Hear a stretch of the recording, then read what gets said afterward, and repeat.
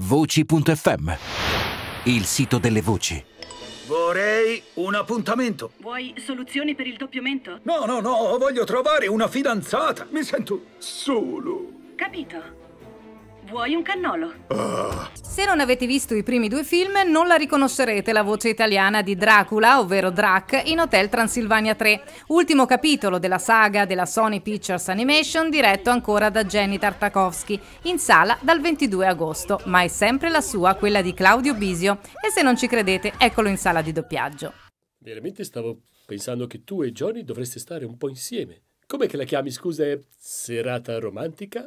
Com'è? Buona? Però ancora il bacio, secondo me. Fa- fammi vedere quando lui lo prende in, in braccio. Cioè, non, non fa di lato. Fa... Te lo faccio uguale. Papà? Mavis! Sei stressato perché lavori troppo. E io ho la soluzione. Una crociera. Oh, Sorpresa! no, no, no, no, no, no, no. Papà! Perché pur non considerandosi un vero doppiatore, Claudio Bisio non si tira mai indietro davanti a un microfono e a un leggio, sempre felice di prestare la sua voce, per quanto camuffata, a personaggi di film d'animazione, come è stato per il bradipo Sid nell'era glaciale e com'è di nuovo con Drac in Hotel Transilvania 3, sotto la direzione di Alessandro Rossi. È un piacere dare la propria voce, anche se nel mio caso, come spesso accade nei cartoni animati, in questo caso è molto camuffata perché parla tutto così, con le doppie non rispettate, con tutto, sembra una specie di russo, perché è transilvano l'abbiamo fatto, e anche l'originale Adam Sandler, l'attore che lo fa in America, anche lui parla Aryu, Aryu cioè un, un, un americano russo quasi, insomma, transilvano per l'appunto. Quindi anche la voce, non tutti la distinguono al volo, non tutti riconoscono che sono io. Ormai al terzo film, almeno gli amici lo sanno, però i bambini, i figli degli amici lo sanno, sono dei fan. Sì, proprio incredibile, è come un hotel sopra l'acqua.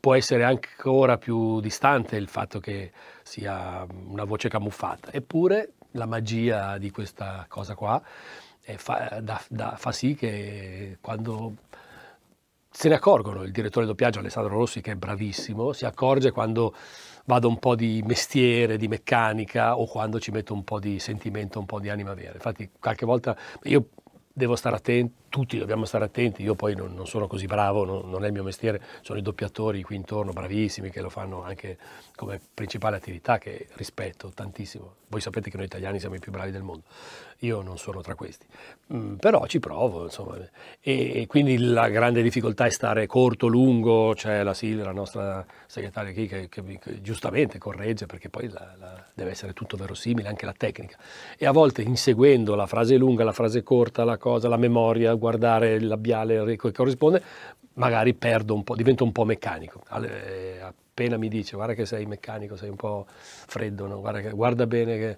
E, e in questi casi basta guardare in realtà, pur essendo un cartone animato, ai me, o comunque non so perché ho detto ahimè, ma pur essendo un cartone animato, se guardi bene la faccia che fa, capisci come devi dire la battuta, cioè che, che sentimento prova in quel momento e quindi quando si riesce a dare un'anima anche a una cosa disegnata, pazzesco, bellissimo. Lo sai che odio le sorprese! Questa è una sorpresa divertente. In Hotel Transilvania 3 ce n'è di anima e di sentimenti. Drac, infatti, nel corso della crociera, ovviamente mostruosa, organizzata a sorpresa dalla figlia Mavis, doppiata da Cristiana Capotondi, troverà persino l'amore. Mostruoso pure quello, però. Gente! Sono il comandante Erika! Tu devi essere Dracula. Dubide sulai cubide? Infine, è più difficile doppiare, quindi recitare soltanto con la voce, piuttosto che anche con il corpo? È diverso, è diverso. Un attore lavora con tutto, col corpo, con la voce.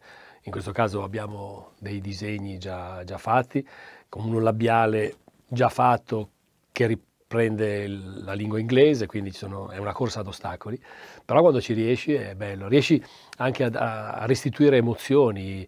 Um, lo, mi è già scappato prima la cosa che questa volta un po' si innamora, quindi cioè, sono momenti anche melodrammatici, poi con la figlia c'è anche una tristezza perché non, eh, non, voglio raccontare tutta la storia, ma insomma ha tanti sentimenti molto, molto umani questa volta. Ma perché siamo su un aereo? Noi sappiamo volare, no! Ho pensato io ad ogni cosa. È ora che tu ti rilassi. Beh, beh, ho avuto un'idea. Io e i ragazzi potremmo cogliere l'occasione per passare un po' di tempo con Dennis.